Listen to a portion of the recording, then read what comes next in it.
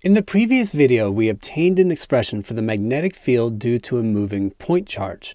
Now in this video, we quickly derive the Biot-Savart law for the magnetic field due to a current, because a current is just a bunch of moving charges. After deriving the Biot-Savart law, we'll apply it to finding the magnetic field around a long, straight wire. And that actually results in a trig substitution integral, so it's a really instructive example. So before we start, I need to make a quick disclosure here. The approach I'm taking in this video is the standard approach taken by many introductory physics textbooks for engineers.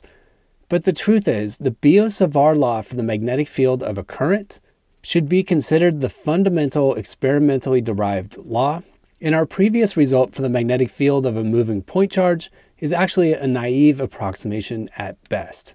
So I think this standard but flawed presentation can actually be a decent way to approach the subject because it's well grounded in physical intuition.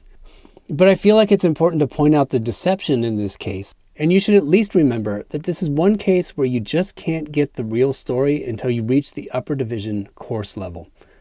So to get started with the derivation, we have a diagram of a long straight wire, and we've placed an observation point above the wire. We have a current moving to the right, and we want to view the wire as a bunch of tiny positive charges moving to the right, so we're able to use our previous result for the field of a point charge. So the natural thing to do here is to slice the wire into infinitesimal dLs, each with an infinitesimal charge of dq. Each of these pieces will move with a velocity v sub d, the drift velocity of the charge carriers in the wire. And remember, the drift velocity is a statement about the average velocity, but we get the same result if we just imagine that every charge moves at that speed. So now we have a little dq moving along with a speed of vd, and we can use our previous result for the magnetic field generated by a moving point charge. So there's the previous result for a charge of q moving at a speed of v. And to use this formula, we need to label a position vector in the diagram pointing from the source charge to the observation point, and we call that r vector. And notice there that r vector is making an angle of theta with respect to the direction of velocity. Next, we define a unit vector r hat in the direction of r. So that's pointing in the direction of the position vector, but it has a length of 1 and the direction of the magnetic field contribution at the observation point due to this small charge dq is given by the direction of v crossed into r hat. So sweeping the fingers of our right hand from the direction of v to the direction of r hat means our thumb points out of the page, so the contribution to our magnetic field points out of the page. Note that I called our magnetic field contribution dB here because it's caused by an infinitesimal charge dq. So let's get an expression for dB for a charge dq moving at the drift velocity. So all I've done there is modify our field of a point charge formula so that the charge is dq and the velocity is the drift velocity in this wire. Next, we need a quick reminder of how drift velocity relates to current, and I'll post a link at the top to the video where this was first derived. As it turns out, the current is given by N times Q times A times VD, where N is the free charge carrier density in this material. That would be measured in charges per cubic meter. Q in this formula is the charge per charge carrier. So ordinarily that would be the charge of an electron. A is the cross-sectional area of the wire and VD is the drift velocity of the charge carriers. So again, N stands for the density of free charges in the wire that would be measured in free charges per cubic meter. And if we multiply that by the volume of our little slice of wire, we get the number of free charges in our slice. And if we multiply that by the charge per free charge carrier, we get our little dq.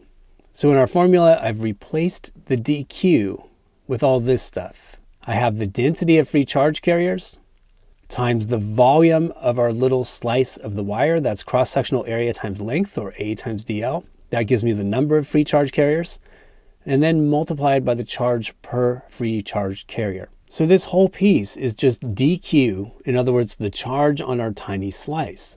And we notice that we're really close to seeing the current in terms of drift velocity here. Again, that's n times q times a times vd. So what we're going to do is let dl take the direction of vd in our formula, and move the magnitude of VD out in front to highlight the current. So again, we're letting DL take responsibility for the direction of the current now, and that allowed us to move that magnitude VD out in front and collect it with N, Q, and A, and now we recognize the thing in parentheses as the current I. Making that replacement, we obtain the differential form of the Biot-Savart law. So this tells us how to compute the magnetic field contribution of a tiny slice of a wire at a given observation point. If we then add up all these contributions by using an integral, that's what people usually mean by the Biot-Savart law. So now we have a general method for computing the magnetic field due to any current carrying wire. In practice though, we need a fairly high degree of symmetry to have any hope of actually computing this thing. So our first example of a Biot-Savart calculation is going to be the long straight wire. And notice that I put a dot dot dot on the left and right sides of it, meaning this thing is just going to run off to plus and minus infinity. And our result for the magnetic field here will be a good approximation anytime we have a relatively long wire and we're observing the magnetic field at a relatively small distance.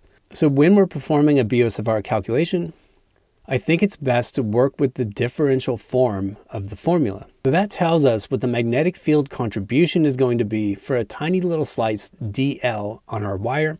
And every time I do one of these Biot-Savart problems, I start by actually drawing that little dl and getting the whole diagram labeled just like it was in the derivation.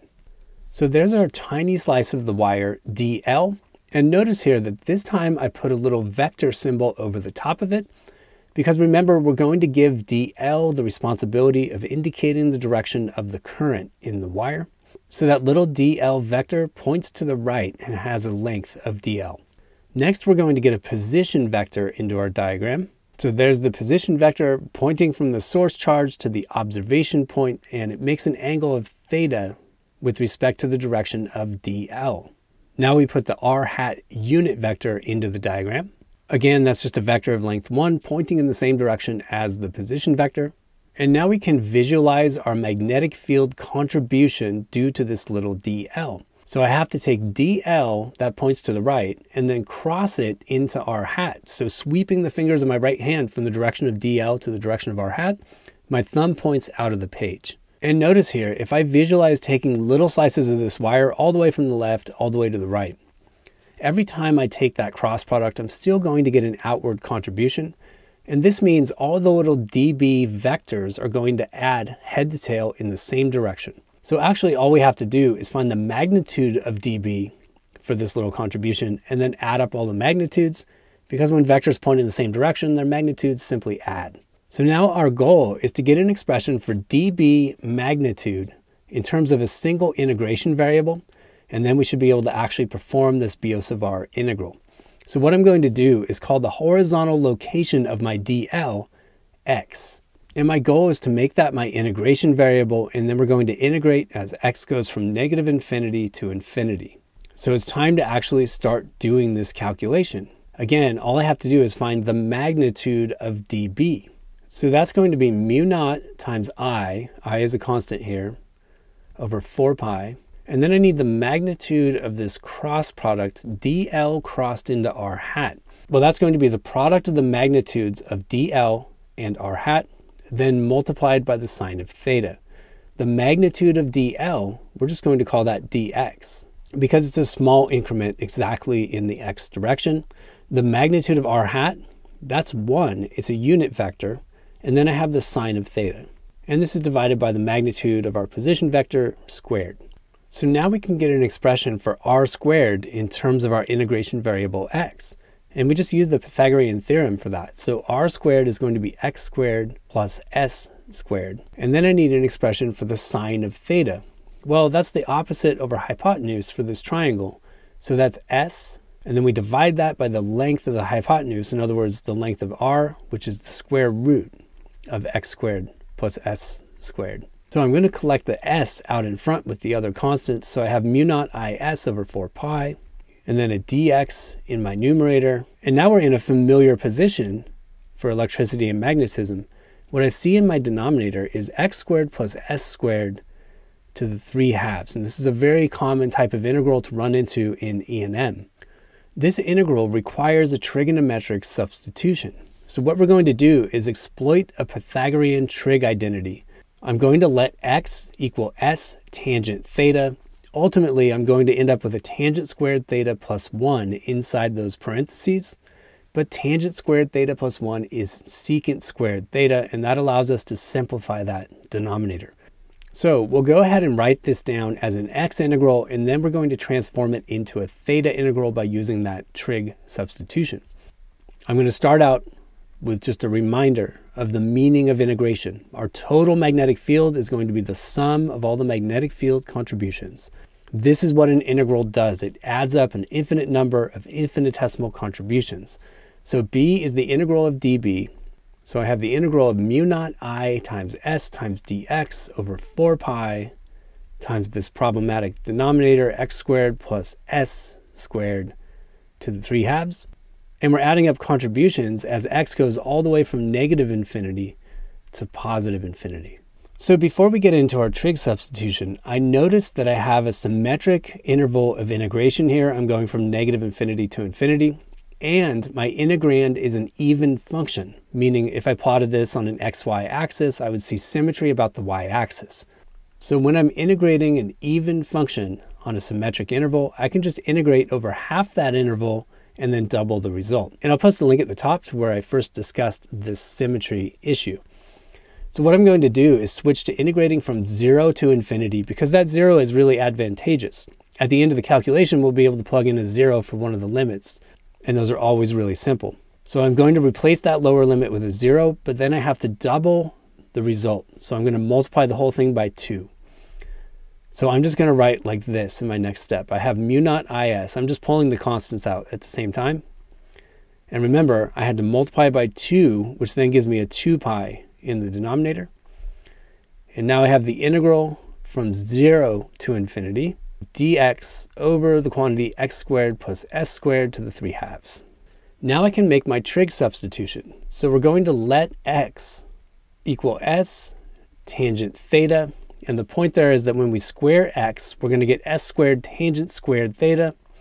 We'll be able to factor an s squared out of this expression and obtain our Pythagorean identity 1 plus tangent squared, which then simplifies to secant squared we still need to transform our differential here. So dx is going to be s times secant squared theta d theta.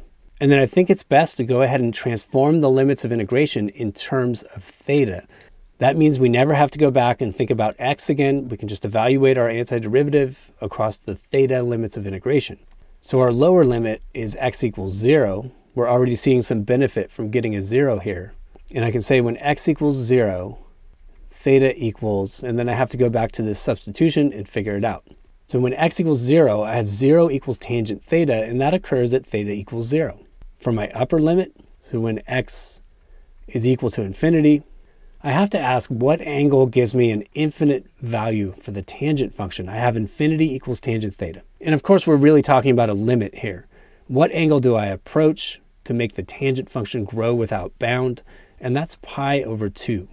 So now I can transform this integral entirely to theta space. And I end up with mu naught is over 2 pi times the integral from 0 to pi over 2. And then dx was s secant squared theta d theta. And then in my denominator, x squared gives me an s squared tangent squared theta. And I have a leftover plus s squared there. And then this is all raised to the 3 halves power. So lots of good things are going to start happening here. If I factor the s squared out of that denominator, well, it's still raised to the 3 halves power. So raising s squared to the 3 halves power gives me s cubed. So there's an s cubed that comes out in this denominator. I'll just go ahead and write it like this. We'll put the s cubed outside those parentheses and then cancel our factored out s squared inside the parentheses. So notice that's going to cancel the two factors of s in the numerator, leaving me with only one in the denominator. And I'll go ahead and move that out in front. So I have mu naught i over 2 pi s and then in my integral, I'm integrating from 0 to pi over 2. I took care of all the s stuff already. And then down there in those parentheses, I have tangent squared plus 1. That reduces to secant squared. But when I raise that to the 3 halves power, I get secant cubed. Now two factors of the secant are going to cancel, leaving me with only one in the denominator. And this is where things start to get really nice. Remember, the secant function is just 1 over cosine. So the reciprocal of that is just the cosine function. And all I have to do is just integrate the cosine. So we just need to guess the antiderivative of the cosine function and then evaluate that result on the interval 0 to pi over 2.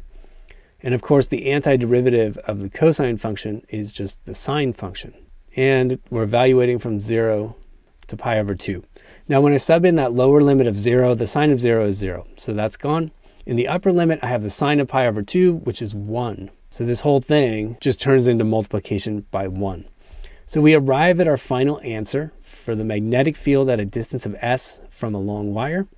It turns out to be mu naught i over 2 pi times s. So this actually turns out to be a really important result because the field due to a line current becomes the building block for developing what's called Ampere's law. And Ampere's law is analogous to Gauss's law for electrostatics. It gives us a powerful new tool for finding magnetic fields due to current distributions provided they have a high degree of symmetry. I'll post a link to my main Ampere's law video at the upper left when it's done, and I'll see you there.